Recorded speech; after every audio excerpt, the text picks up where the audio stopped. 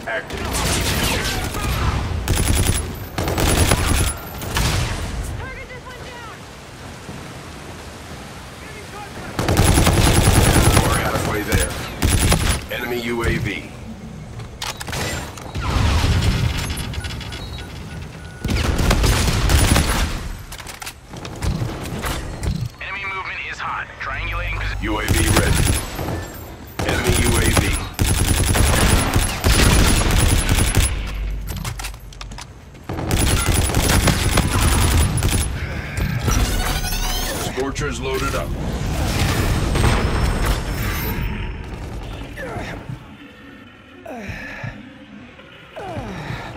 Scouts in three. One in the.